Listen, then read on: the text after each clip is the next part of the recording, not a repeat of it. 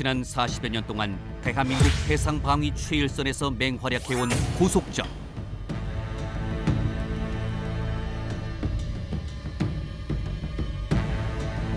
적이 NLL을 침범할 경우 가장 먼저 출동해 강력한 경고로 도발을 저지했으며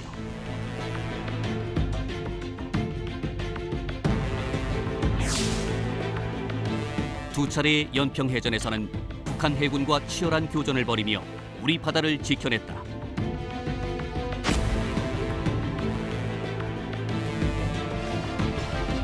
함포는 물론 각종 첨단 장비와 유도탄까지 장착하고 우리 해군의 전후방 전력을 강력하게 유지해온 해군 고속정의 개발 역사.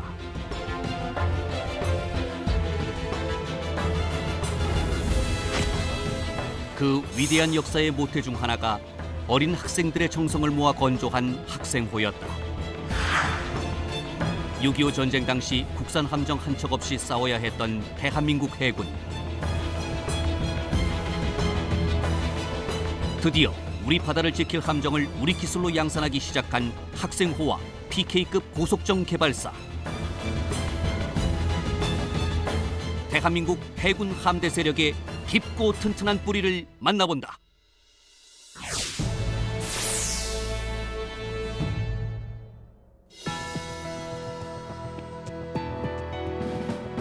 여러분 안녕하십니까? 첨단 국가의 초석 방위 산업의 남희경입니다. 오늘은 지난 시간에 이어 1970년대 학생으로부터 시작된 우리 해군의 고속정 개발사에 대해서 알아보겠습니다. 도움 말씀 주실 네 분 소개합니다. 먼저 초창기 해군 고속정 개발에 많은 기여를 하셨고 전역 후에도 우리 함정 개발과 조선 산업 세계화를 위해 많은 기여를 해오신 분입니다. 주식회사 소르젠의 김국호 대표 모셨습니다. 안녕하십니까 김국호입니다. 해군에서 다양한 함정의 설계와 건조에 참여하시고 조함 병과장과 해군 조함단 부단장을 역임하신 함정 개발의 전문가이시죠. 심희섭 제독 모셨습니다. 안녕하십니까 심희섭입니다. 다양한 함정에서 함장 임무를 수행하신 바 있으며 함정 운용 및 작전 분야에 많은 경험을 가지고 계신 김종신 해군 예비역 대령 모셨습니다. 안녕하십니까 김종신입니다. 마지막으로 우리 해군의 이지스 함정 설계 감독관과 조함 병과장을 역임하신 바 있는 충남대학교 함정 시스템 연구센터의 정재수 센터장 함께 하시겠습니다. 안녕하십니까 정재수입니다. 함께 해 주셔서 고맙습니다. 우리 해군과 함정의 역사에서 워낙 중요한 경험을 많이 하신 분들 오늘 네 분 모셨기 때문에요. 꼭 주제에만 제가 얽매이지 않고 틈틈이 궁금한 것들을 여쭤가면서 진행을 좀 하겠습니다. 김대부님, 제가 함정 개발을 하면서요. 지금 한 여러 차례 듣습니다만은 좀 이렇게 낯선 이렇게 용어가 있어서 한번 좀 이렇게 여쭤보겠습니다. 보통 이제 배는 다른 무기체처럼요. 이렇게 만든다 얘기를 안 하고 짓는다라는 표현을 쓰거든요. 근데 엄밀히 말하자고 한다면 우리가 건물을 짓는다, 또 배를 짓는다, 뭐 그 차이가 좀 있을 것 같은데 어떤 차이가 좀 있습니까? 조금 있습니다. 영어로 표현하면 좀 더 확실할 것 같은데요. 건물이 빌딩 아닙니까? 건물을 짓는 거는 building construction이라 그럽니다. 배를 짓는 거는 ship building이라 그럽니다. 좀 달라요, 영어로도. 그 건물은 보시면은 건물 그 자체는 껍질밖에 아무것도 없습니다. 건물을 살리려면은 전기 있어야죠. 통신 돼야죠. 가스 들어와야죠. 상수도 하수도 이 모든 시스템은 자기 게 아닙니다. 다 바깥에서 공급되는 거고 연결만 되는 겁니다. 한편 배를 보시면은 모든 시스템 배 안에 다 갖춰야 됩니다. 배 안에 전기를 만드는 발전기도 있어야 되고 통신기도 있어야 되고 연료 시스템, 뭐 식수 제조기, 오폐수 처리 장치, 쓰레기 처리 장치 모든 시스템을 다 갖추고 있어야 되고요. 외부의 도움을 전혀 받지를 못합니다. 기껏해야 배 나갈 때 연료 좀 받아 갖고 나가고 물 좀 받아 갖고 나가는 거. 나머지는 다 알아서 자기 스스로 해결해야 되고 게다가 제일 큰 차이는 이 복잡한 덩어리가 움직인다는 겁니다. 우리나라에서 지금 현재 제일 큰 빌딩이 63 빌딩인데요. 63 빌딩을 눕히면은 배 크기로 한 15만 톤급 정도가 됩니다.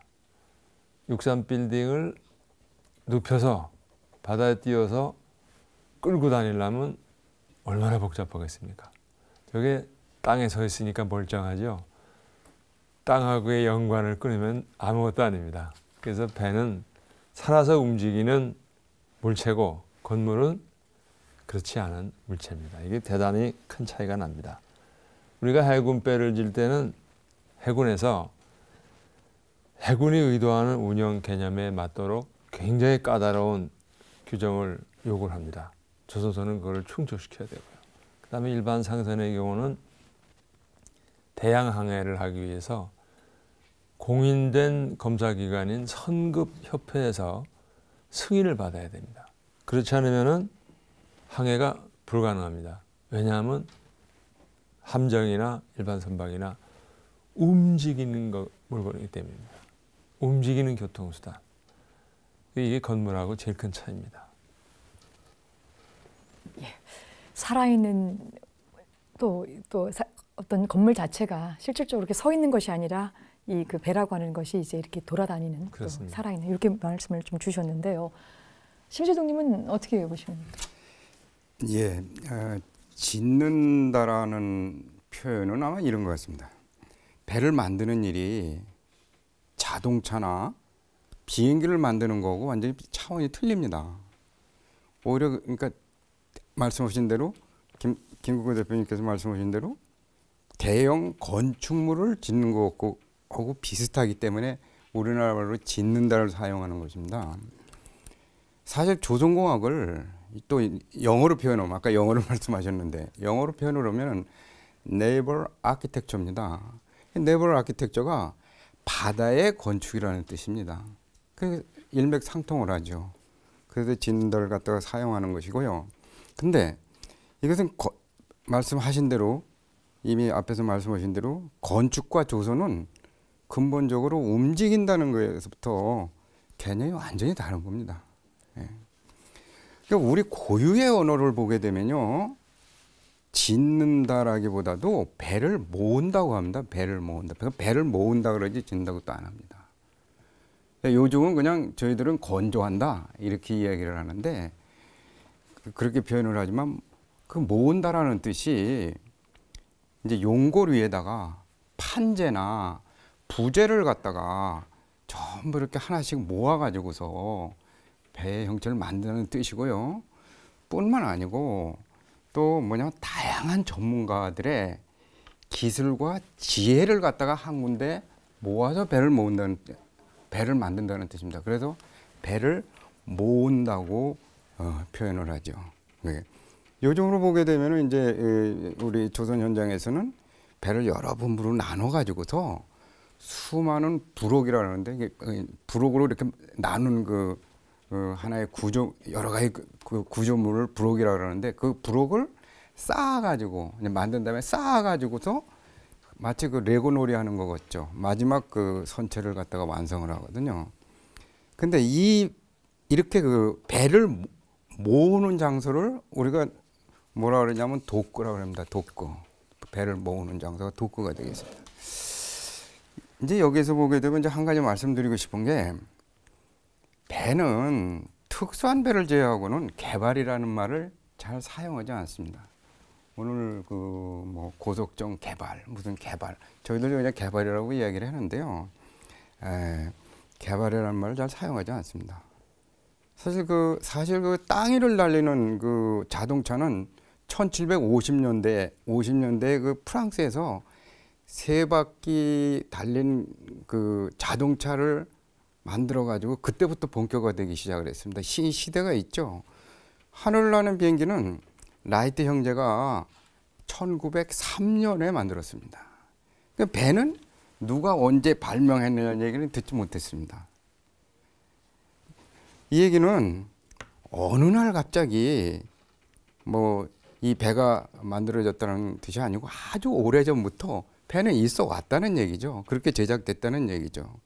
사실 또 노아의 방주로부터 시작해 가지고 지금까지도 자연스럽게 제조되고 있고 그래서 함정도 어, 함정도 해군에서는 개발보다는 함정 개발보다는 함정을 설계하고 건조한다 이렇게 표현을 합니다. 근데 이 용어는 상당히 의미가 있습니다. 개발이라는 것은 연구 개발, 즉 R&D를 얘기를 하거든요. R&D를 의미하는데 이것은 실패할 수도 있다는 의미가 약간 있는 겁니다. 그러나 함정을 갖다가 우리 조함을 한다는 것은 절대 실패해서는 안 되는 겁니다. 그렇기 때문에 해군에서는 영구자적인 개발을 벌여야 됩니다. 이 일을 하려고 하면은. 그래서 지금까지 함정 개발에 참석한 사람들은 이런 그 어려운 역사 속에서도 그렇게 알고 지금도 그렇게 지키고 있습니다. 그렇게 말씀드릴 수 있습니다.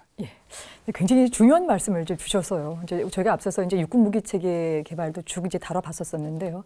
R&D와 설계에 있어서의 우리가 시험 평가 과정에서 오류가 나, 날 수도 있잖아요. 그런 측면에 있어서는 많은 이제 문제점도 있었었고 또 극복 과정도 있었었는데 함정 건조에 있어서만큼은 실패라고 하는 것이 없다라고 하는 얘기를 네. 이제 오늘 그냥 이렇게 받아 맞습니다. 하고요. 나중에 네. 좀 진행되는 과정에 있어서 제가 조금 궁금한 부분을 좀 더 여쭙겠습니다. 네. 센터장님, 저희가 이제 지난 시간에 계속해서요, 이제 고속정 개발사를 개발적으로 좀 소개를 쭉 해왔고 또 그 부분도 해주셨는데요. 워낙 이 중요하고 전문적인 내용이다 보니까 오늘 이야기 쭉쭉 전개한 과정에 있어서 우리 이제 시청자들의 이해를 돕기 위해서요. 우리가 기존에 해왔었었던 이 어로 지도선 개발, 그다음에 학생호, 그다음에 PK급 이 고속정 개발하는 과정, 요 세 개가 어떤 상- 상관관계가 있을 것 같거든요. 그래서 우리 함정 개발사에 있어서 그 부분을 조금 더 이해하기 위해서 요 세들의 이 상관관계를 조금 설명해 주시죠. 예, 지난번에 제가 말씀드렸던 그 고속정 개발 사업고 조금 중복되는 내용이 될 수도 있는데요. 좀 요약해서 말씀을 드리면 세 가지 함정에 대해서만 우선 어로 지도, 지도선하고 학생호는 거의 그 유사한 시기에 개발된 프로토타입 고속정이라고 보면 됩니다. 그러니까 뭐 작전 배치를 하기 위해서 뭐 지었다기보다는 오히려 연구 개발 측면에서 지은 배라고 저희들이 볼 수 있고요. 어, 그래서 그 기본 설계 착수 시기가 아까 뭐 저도 말씀드리고 우리 김 국고 대표님도 말씀드렸지만 6개월밖에 차이가 안 납니다. 같은 시기에 사실은 이제 하나는 키스트에서 하나는 해군에서 주도적으로 두 가지 배를 개발한 거죠. 근데 이제 두 가지 배의 차이는 KIST boat가 어로지도선이 P, 그 학생호보다 크기가 약 뭐 1.5배 정도 크고 그리고 그 학생호에는 뭐 미사일이 실리지 않았지만은 KIST 함에는 미사일을 탑재를 했습니다. 그래서 이런 측면에서 두 가지 배의 차이가 있고요. 그러면 어로 지도선하고 어, 어로 지도선 PK하고 아, 저 학생호하고 PK는 어떻게 다르느냐? 어로 지도선하고 학생호는 개발이 목적인 함정이었기 때문에 두 척만 짓고 말았습니다. 그래서 작전 배치가 뭐 거의 뭐 제한이 됐죠, 사실은. 근데 PK는 전에도 말씀드린 대로 29척이나 양산을 해서 우리 해군에서 20년 동안 대간첩선 작전 이런 데 아주 중요한 그 역할을 했던 배다. 이렇게 이해를 하시면 될 것 같고요. 어, 그 학생호 뭐 PK 뭐 이런 거 과정에서 뭐 있었던 여러 가지 그 이야기들은 그때 뭐 직감적으로 참석하셨던 우리 김 대표님이나 심재동님이 뭐 잘 말씀을 해주실 것 같습니다. 알겠습니다. 근데 결국 이제 1970년대 초에 이렇게 그 PK급 이 고속정을 만들었던 것이 북한의 이 간접선에 때문에 거기에 대응하기 위해서 이제 만들었다는 말씀을 이제 주셨는데요. 근데 대령님 요즘에서요.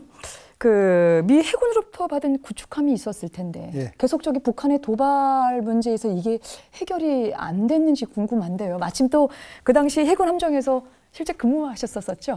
예. 예. 그래서 그 경험을 바탕으로 해서 왜 그 당시 그 세계 최고의 미 해군 함대 이걸 갖고 있었음에도 불구하고 이 부분을 그 대처하지 못했는지 경험을 좀 듣고 싶습니다. 좀 전에 그 정재수 센터장님이 이제 학생호하고 PK 문제를 말씀드렸는데 그 작전 운용의 측면에서 이제 제가 좀 부가적으로 그걸 말씀드린다면은 학생호는 이제 여러 가지 작전을 하기에는 제한이 많았습니다. 그래서 그래서 만들어 놓은 함정을 버릴 수는 없고 그래서 저희 해군에서 진해항 경비하는데 항내 경비 운용 세력으로만 운용을 했고 기타 PK들은 각 함대로 나누어 전국으로 분산되어서 현지에서 작전 운용을 했습니다. 그만큼 이제 비슷하게 만들어졌지만 작전 운용에서는 큰 차이가 많이 났다는 걸 말씀드리고요. 세계 최고의 구축함, 미국의 구축함이 북한 간접선을 잡을 수 없는 그 말은 우리 속담에 꽝 잡는 게 매다 이런 말이 있습니다. 동물의 세계나 무기 체계에서는 천적이 있게 마련입니다. 그 새앙지를 잡는데 호랑이보다는 고양이가 훨씬 나은 그런 것 같습니다.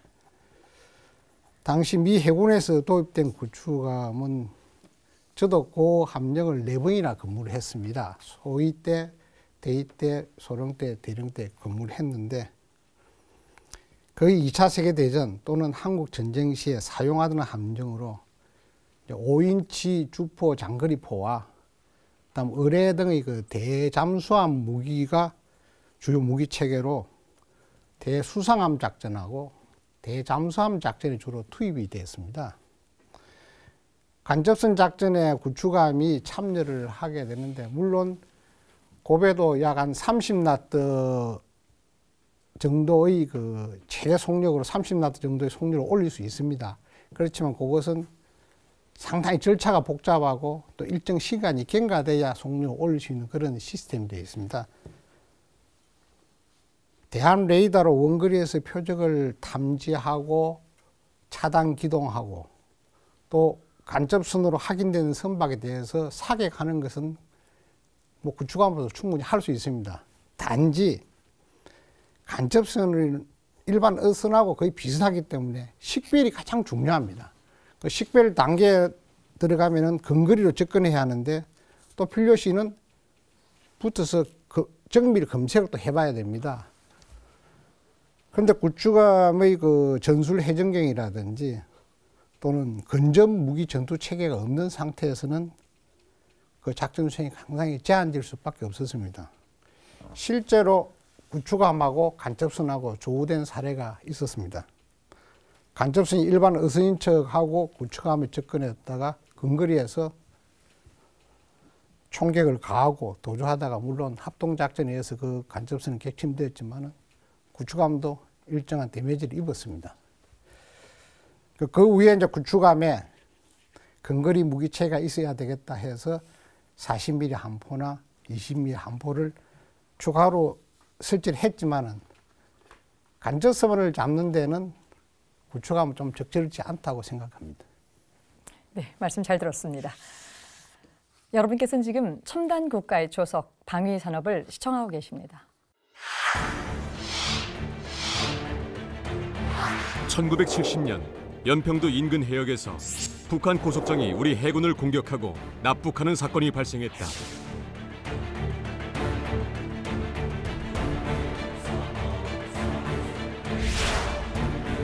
연평도에서 서쪽으로 10마일 떨어진 해역.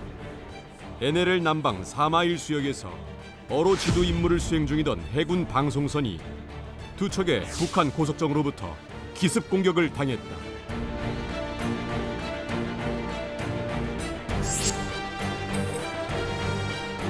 해군 방송선은 20mm 기관포와 기관총으로 응사했으나 적의 화력을 당해낼 수 없었다.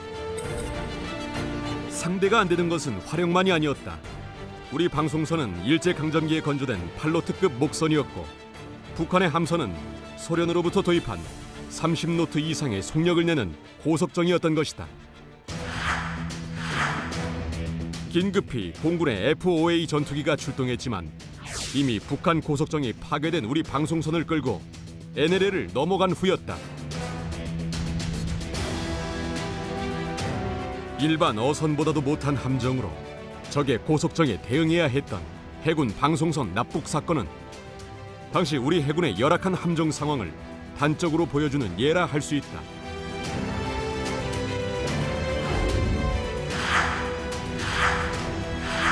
당시 북한 해군은 30노트 이상의 고속 함정을 다수 보유하고 있었다. 우리 해군이 가진 배 중 30노트에 도달할 수 있는 함정은 대형 구축함이 유일했다. 하지만 기동력과 구조적인 면에서 구축함으로 고속정을 잡는다는 것은 쉽지 않은 일이었다. 결국 방비 상태나 다름없었던 연안 방어력을 구축하기 위해 고속정 개발이 절실했다. 1972년 해군 공창에서 어로 지도선이 건조된 이후 해군 본부에 조함과가 설치되며 급물살을 타기 시작한 고속정 개발 사업은 드디어 40노트급 고속정 학생호의 건조로 실질적인 결실을 맺게 된다.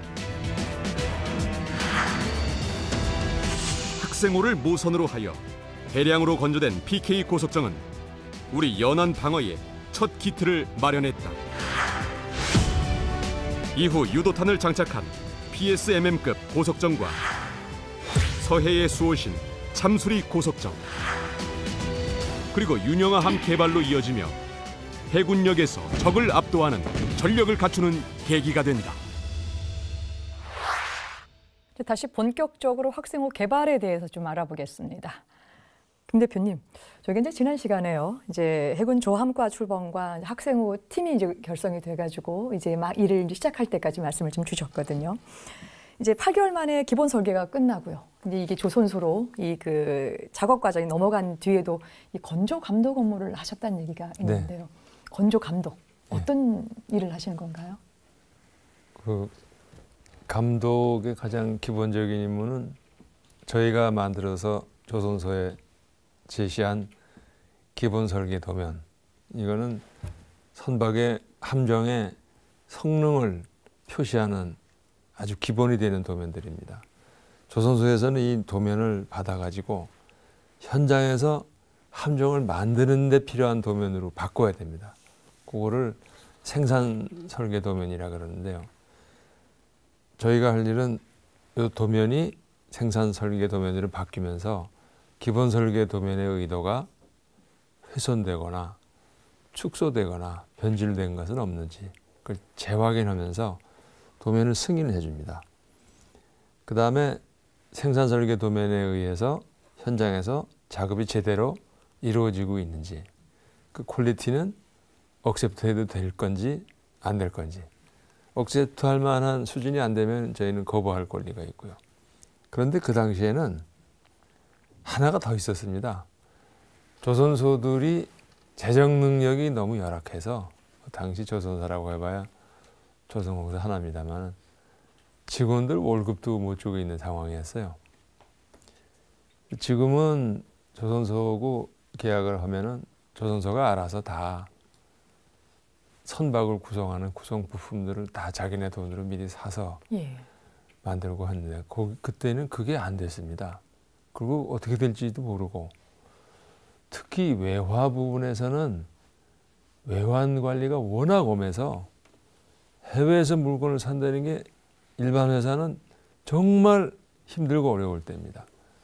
그래서 이 모든 업무를 전부 조합과에서 맡아가지고 철판하고 페인트, 그 다음에 흔히 살 수 있는 부자재, 요거를 제외하고는 전부 우리가 사서 공급을 해줬습니다. 그러니까 우리는 해군 소속이기 때문에 이런 장비들을 사서 대한조선공사 가까이 있는 부산 보급창 창고에 보관하고 있다가 배를 만들면서 특정 장비가 필요하면은 저희한테 요청을 합니다. 그러면 창고에서 불출해 갖고 조선소에다 넘겨주고 이런 일까지 했습니다. 그러니까 이 그 당시 감독은 설계 검토, 현장 감독 플러스 기자재 구매, 자재 관리 와 진짜 엄청나게 바빴습니다. 거기에다가 남은 자재가 있지 않습니까? 남은 자재는 어떻게 쓰고 몇 개가 왜 남았는지를 다 확인을 해가지고 그대로 완성과 동시에 해군 공창으로 넘깁니다.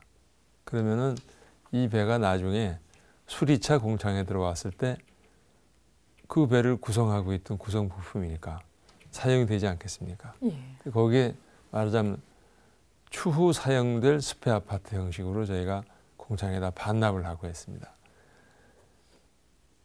이 군인 군복을 입고 와가지고 감독을 하는데 뭐 비싼 물건들이 왔다 갔다 하고 굉장한 그 파워가 있는 걸로 외부에서는 보여지니까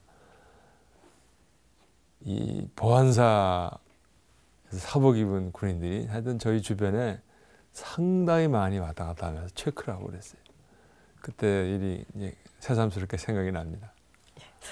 감독이라고 말할 수 없을 만큼의 또 밑에부터 시작해 다양한 일도 지금 해주셨는데요. 제동님 또 어떤 일이 또 있을까요? 이런 역할들에서. 배 함정뿐만 아니라 배에서는 그 감독관이 있습니다. 우리 그러니까 함정만 있는 게 아니라 배라 그러면 감독관이 있는 겁니다. 그래서 그 감독관이 두 가지가 있는데요. 하나는 그 배로서의 그 기본 기능을 기본 성능을 갖다가 만족하는 즉 뭐냐면 만족 보증하는 룰 감독관이라는 게 있습니다. 이게 뭐 길게 설명을 안 드리겠습니다만 이건 선급에서 파견이 되는 거고요.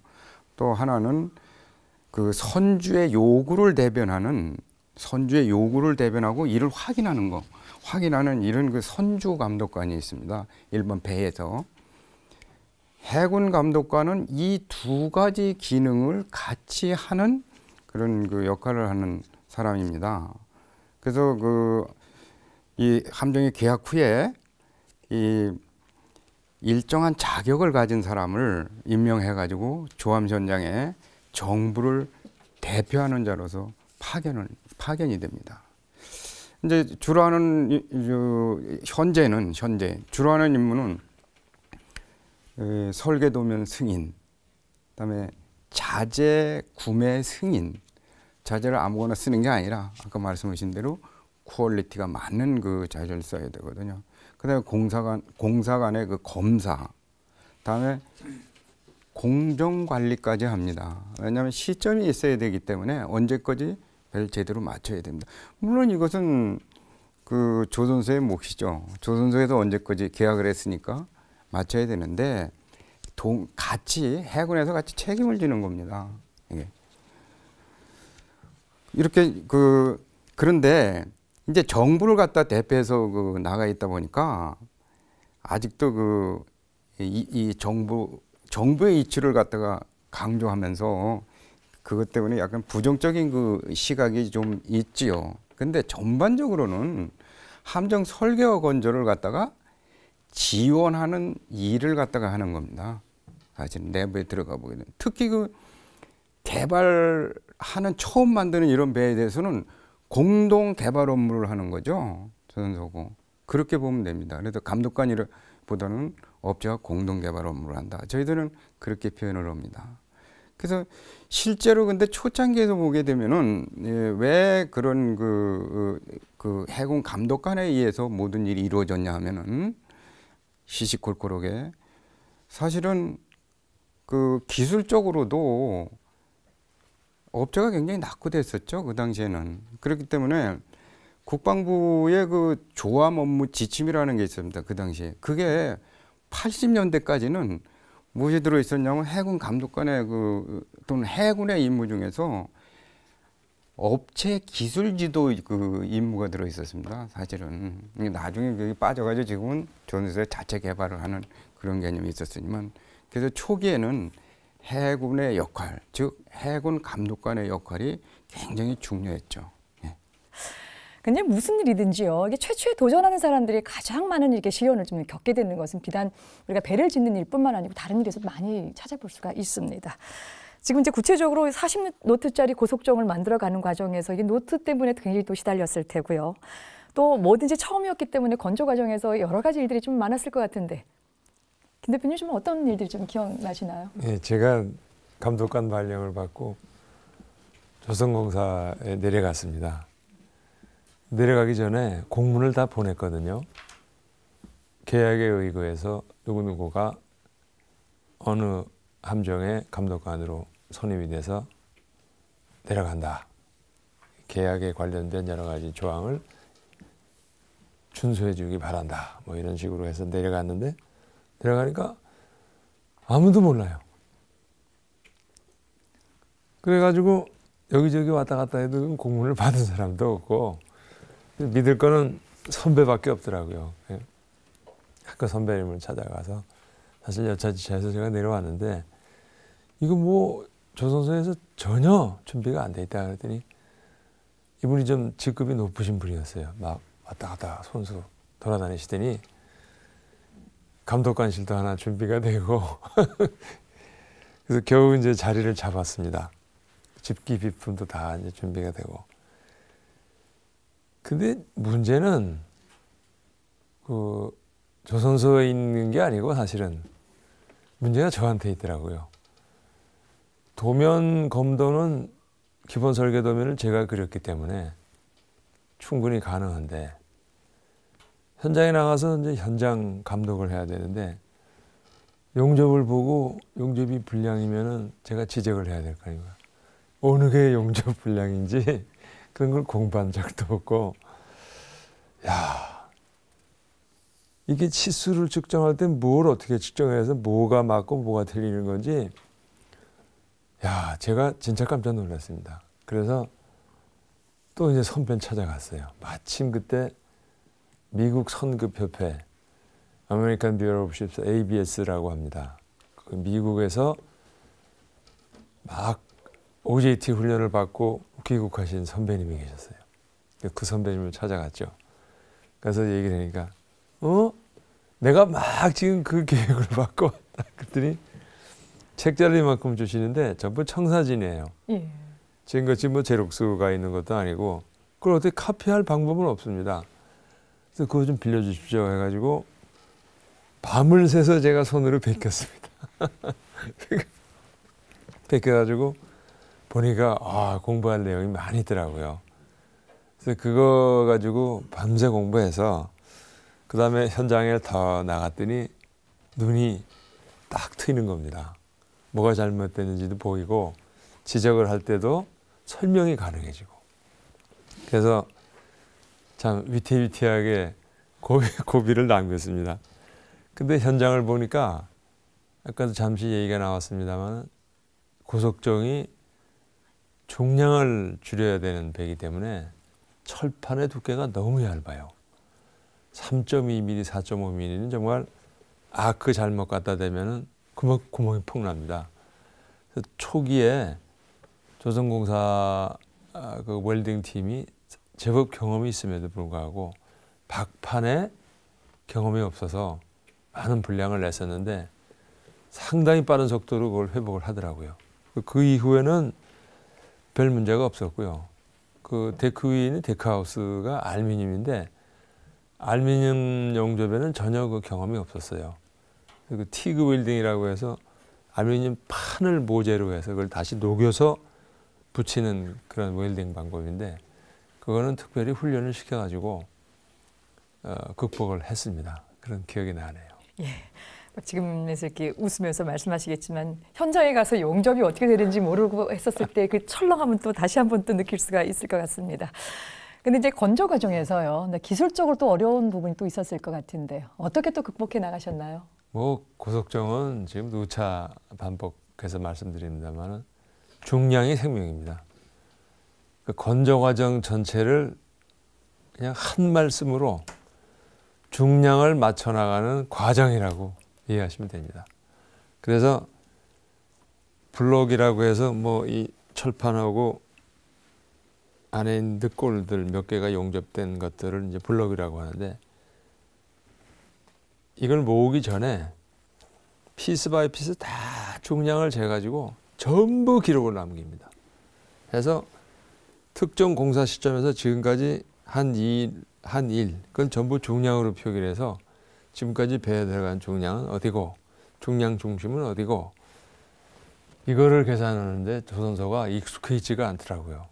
아, 처음에 진짜 해 먹었습니다. 저울이 없어요, 우선.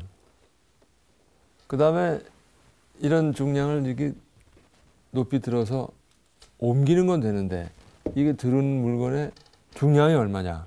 그 사람들은 알 필요가 없거든요. 그냥 옮기기만 하면 되지. 그래서 조선공사가 그때 좀 조금 투자를 해가지고 고속정 만들 때 필요한 모든 거는 다 무게를 측정할 수 있게 조선소가 준비가 됐었습니다. 그게 제일 어려웠고요. 아, 그 다음에 고속종은 빠른 속력이 생명이기 때문에 마력이 엄청나게 큰 그 주기관을 설치할 수밖에 없는데 기관의 마력이 크면은요 모든 게 다 커집니다. 그래서 승조원들한테는 좀 미안하지만 공간을 굉장히 큰 공간을 이 엔진이 다 차지합니다. 그 안에 들어가는 배관이니 무슨 발비 이런 것들도 너무 커가지고 배는 작은데 기관실에 들어가면 막 어마어마합니다. 그 현장에서 가장 고생을 많이 한 부분이 엔진룸 공사입니다. 옛날 생각이 나는군요. 결국 이제 엔진 또 중량과의 또 씨름을 통해서 이제, 이제 완성이 됐고요. 바로 이제 시운전을 하셨을 텐데요. 막 지금 막 먼저 묻고 싶은 것이 40노트를 달성을 좀 했는지 또 네. 시험 과정은 또 어디서 했는지 궁금한데 성공하셨죠? 그 물론 성공했습니다. 그 시운전을 하는 방법을 우선 이해를 하셔야 되는데요. 마일 포스트라고 하는 그 마크가 이렇게 있습니다. 육상에. 그래서 이 mile post 간의 거리가 얼마라고 나와 있고요. 배가 이거하고 parallel하게 달리면서 요 post를 지나갈 때 스톱워치를 누르고 요 post를 지나갈 때 스톱워치를 누르면 여기와 여기를 통과하는데 몇 초가 걸렸다는 게 나옵니다. 그러면 금방 속력이 나옵니다. 그 송도 앞에 있는 흑암 배감인가 그 마일포스트인데 거기로 이제 이 배를 끌고 간 거죠. 갔는데 하도 이 중량, 중량, 속력, 속력을 얘기를 해가지고 조선공사에 있는 사람은 아무도 모르는 사람이 없어요. 중량, 중량, 속력, 속력 해갖고 우리가 걸어만 가도 옆에서 중량, 중량, 속력, 속력 이 정도로 그 사람들 그 뇌리에 남았습니다. 이 시운전 가는데 뭐 거기 용접사부터 시운전에 참여하는 모든 사람들이 그 속력에 이게 40노트가 나올 건지 모든 사람들의 관심사예요. 거기에 엄도재 씨가 탔습니다. 탔는데 이분은 지금 가슴 속에 하, 이게 속력이 얼마 나 갈지 막 보글보글한 겁니다. 탁 나가가지고 뛰는데 뛸 때도 가장 빠른 속도로 쫙 지나가야 때문에 mile post 저 뒤에서부터 엔진 마력을 올립니다. 자동차는 그 비교적 빨리 최고 스피드가 되는데 배는 시간이 좀 오래 걸려요. 쫙 올려가지고 가장 full power로 모든 엔진이 full power로 들어갈 때 드디어 이제 최고 속력이 됐다 했을 때 mile post도 딱 찍고 딱 찍고 나가야 됩니다. 딱, 네, 얼마고? 하는데 이제 41로 딱 이렇게 된 거예요. 근데 원래 이거 보면 조류의 영향이 있기 때문에 왕복해서 측정을 해야 됩니다. 그래서 평균치를 해야 되는데 우와 하고 그냥 들어와 버렸어요. 그 들어온 걸 어떡합니까? 원칙적으로는 그게 공식 스피드가 될 수는 없는데 그걸로 그냥 공식화 됐고요. 사람들이 막 말을 하니까 됐고 그 이후에도 이제 여러 차례 시운전할 기회가 있었는데 40일 로또는 뭐 계속해서 유지가 됐습니다. 지금 이제 말씀 주십니다만은 중량 중량 속도 속도 이것과 더불어서 예. 그 시운전 할 때 뒤로 한번 돌아가는 것조차도 잊을 만큼 굉장히 이제. 예, 환호로 크게 이제 성공을 좀 했는데요. 제동님 이제부터는 이제 우리 그 어로 지도선하고 학생호하고 다 이제 다 끝났거든요. 어떤 것을 진짜 그 사용해서 우리 바다를 지킬 것인가라고 이제 결정을 할 차례가 됐는데요. 결국 이제 앞서 이제 소개했었던 것처럼 이제 학생으로 이제 결정이 됐다고 이제 말씀을 이제 주셨었는데 어떤 배경을 통해서 이렇게 결정이 난 건지 궁금합니다. 아, 예. 그 어로 지도선하고 학생호를 성공했다 그러지만 사실은 그 두 배는 그 다른 배입니다. 어, 크기 면에서도 그렇고 그다음에 톤수 면에서도 역할이 다르다고 봐야죠. 그또 어, 어로 지도선에는 이미 그 당시에 그 엑소셋 그 미사일을 달고 있었고요. 그 미사일 고속정이었고 그러나 이제 두 그 고속 중에 고속정 중에서 검토를 해서 무엇으로 할 것인가는 실무적으로 검토를 해야죠. 그리고 상부 지시도 있었고요. 그러니까 근데 실제 지금 말씀하신 대로 보게 되면은 톤수에서도 120톤과 80톤으로 어로지 도선이 그 두 배는 아니지만 상당한 그 차이가 나고요. 또 어, 크기도 33m와 25m 이렇게 예, 해서 어로지 도선이 어로지 도선이 더 큰 배죠. 그래서 어, 또한 그, 그 당시에 그, 음, 두 종류의 배가 네 척이 해군에서 운영 중에 있었는데, 어, 어로 지도선 같은 경우는 꼭 그 어떤 다른 문제도 조금씩은 다 두 배가 다 있었습니다만, 어로 지도선 같은 경우에는 그 큰 배가 40나트를 나기 위해서는 굉장한 기름이 들어갑니다. 즉, 연료가 들어갑니다. 그래서 그 당시에 어, 뭐 어디서나 그만큼 그 어, 비용이 많이 들어가는 데는 감당할 수가 없었죠. 그래서 거의 그 정박 중에 또 있는 그런 실정이었습니다. 그래서 왜 결국은 이제 또 우- 운영 유지 면에서도 마찬가지입니다. 어로지도서는 알미늄 보트로서 알미늄을 유지 보수하는데 굉장히 시간 그 돈이 많이 들어갑니다. 그 그렇기 때문에 결국은 그 학생호를 갖다가 기준으로 짓자 이렇게 이제 결정을 했는데요. 그걸 용도 면에서 봐도 당연히 이제 학생호로 갈 수밖에 없습니다. 용도 면에서도 대간 작전의 효율성을 갖다가 보아야 되는데 작고 빠른 그 강선 학생호가 훨씬 낫죠. 그 문제 있어서는 그래서 당연히 물론 이제 결정한 다음에 그 건조를 할 때는 당연히 두 고속정이 이제 성공을 했으니까 거기서 배운 그 설계와 건조에 피, 어, 필요한 어떤 그 에, 기술은 아주 적절히 이용을 했죠. 그 당시에 출몰하는 그 북의 그 고속선이나 그 간접선은 아주 형편없는 거였거든요. 속도만 빠른 거였죠. 근데 PK로서 그거를 대응한다는 것도 어떻게 보면 좀 사치스럽죠. 아, 그 정도로 좀 열악했다고 지금 말씀을 좀 주시는 예. 거죠? 북한의 예. 그 도발했던 가첨선들이. 그렇죠. 간접선은 그랬습니다. 예. 센터장님 또 어떤 의견 주시겠습니까? 제가 그 어, 심석 선배님이 아주 잘 설명을 해 주셨는데 조금만 부연을 해서 그 당시에 우리가 어떤 배가 필요했느냐 측면에서 조금 말씀을 드리면은 어, 그 당시에 작전 상황이 급 해군 작전 상황에 1순위, 2순위가 하나는 대간첩선 작전이고 하나는 북한이 갖고 있는 그 유도, 유도탄정 오사코마급 이거, 이것에 대한 대응책이었습니다. 그런데 그 두 가지 함정이 아까 제가 그 고수장 개발소에서 그 소개를 해드렸는데 유도탄 고속정은 PGM이라는 배가 미국에서 가져와서 그 양산을 양, 양산이라고 부르- 미국에서 가져오고 우리도 짓고 이런 배가 있었고 하나는 이제 간첩선을 잡기 위한 세력이 필요했던 거죠. 그러니까 그 PS 그저 어로 지도서는 유도탄이 실린 배인데 그 역할을 아마 PGM이 대, 대신했다고 보면 되고 그러니까 당연히 간섭서를 잡기 위해서는 PK가 나와 나올 수밖에 없다 학생회급에 이렇게 판단입니다. 예, 잘 들었습니다. 예, 대표님께서.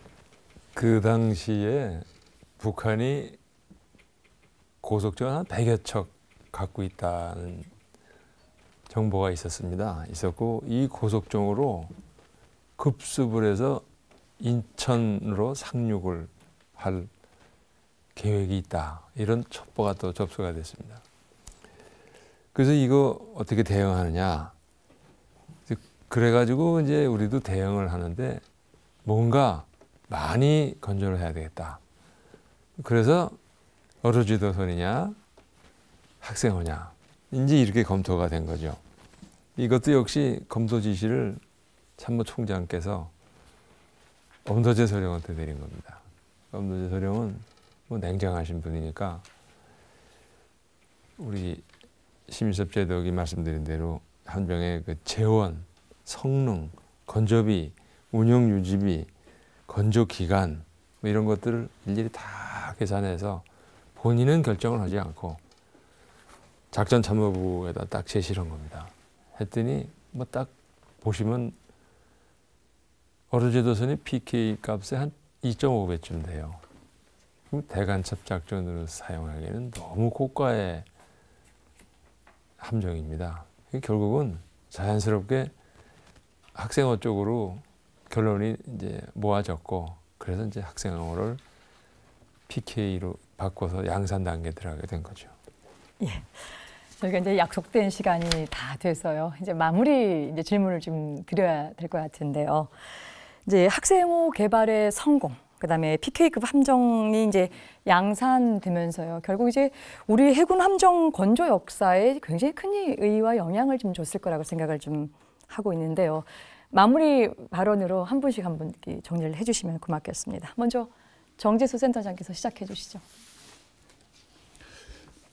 그 지금까지 뭐 많은 이야기를 해서 이제 뭐 들, 듣는 분들께서 고속정의 역사와 그다음에 고속정을 그 획득하는 과정에서 있었던 여러 가지 어려움 뭐 이런 걸 뭐 이해를 많이 했을 것으로 판단이 되는데요. 그 제가 개인적인 생각은 학생호 그리고 PK가 양산이 돼가지고 우리 해군 그 작전에 20년간 초기 20년간 그 중요한 역할을 하게 된 그 그것의 가장 큰 의미는 뭐냐? 하면 된다. 뭐 이런 그 자신감을 그 그때 그 선배님들께서 후배들한테 심어준 것이다. 저는 그렇게 생각합니다. 우리 뭐 김국호 선배님 이 자리를 빌어서 정말 감사를 드리고요. 그런 일이 있었기 때문에 그런 그렇게 하셨기 때문에 우리나라가 현재 세계에서 모든 우리가 필요한 함정을 설계 건조할 수 있는 나라가 됐다. 이렇게 저는 판단합니다. 예, 이번에 김종신 대령께서. 어, PK 고속장을 우리 해군에서는 운영함으로써 실질적인 비정규전 작전 세를 갖추어 가지고 균형 있는 전력을 보유했다고 보고요.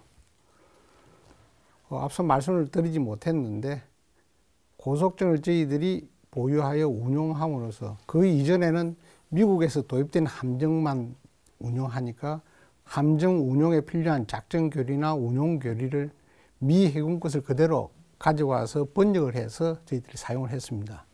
그런데 새로운 함정을 이제 운용을 하니까 이 함정을 가지고 작전에 투입해서 해야 할 작전 교리와 또 함정을 운용하는 운용 교리 이것이 새로 만들어야 됩니다. 그래서 뭐 본의 아니가 이것 때문에 열심히 노력하신 분들이 많이 있었지만은 그것이 또 우리 해군 교리 발전의 하나의 큰 계기가 되어서 뭐 새롭게 또 했다는 의의가 있고요. 함정 근무 장교들의 그 부대 지 능력과 조합 능력을 조기에 달성하는 데 이바지했다는 것도 앞서서 말씀을 드렸습니다. 그리고 이제 대간첩 작전 등의 그 성공을 통해서 우- 가장 큰 것은 우리 해군 장병들에게 간첩선과 나가서 싸우면 이기는 겁니다. 그러니까 이 필성의 신념과 어떤 전투 의지가 자신감이 배었다는 것입니다.